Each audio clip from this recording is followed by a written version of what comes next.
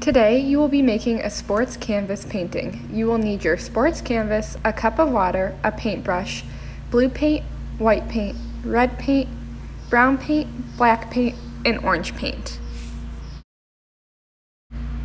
First, I will get my sports canvas. Next, I will get my paintbrush and pick a color that I want to start painting with. I can paint my canvas however I would like to. I could use all different colors.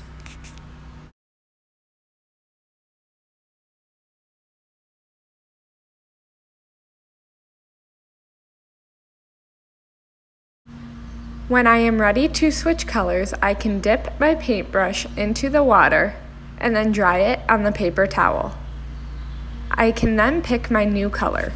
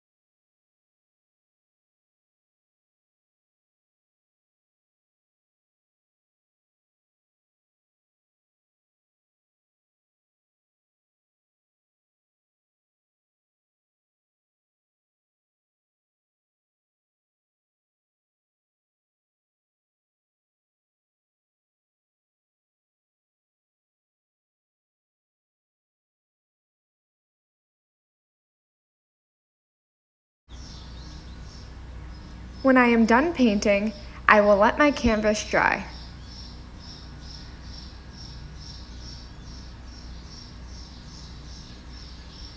When it is done drying, I can hang my canvas up on the wall or place it on to a table somewhere. I am all finished.